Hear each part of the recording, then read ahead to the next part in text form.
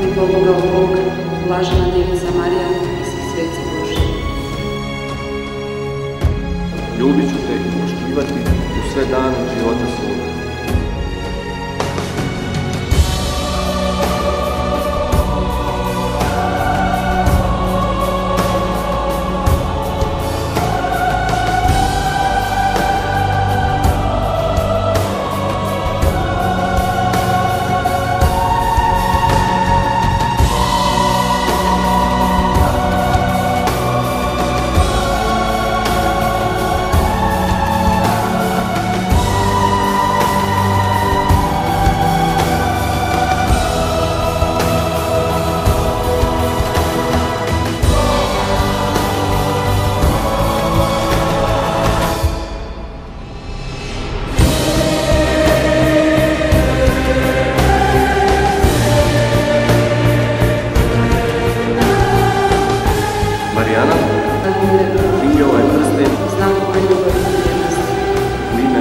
Thank you.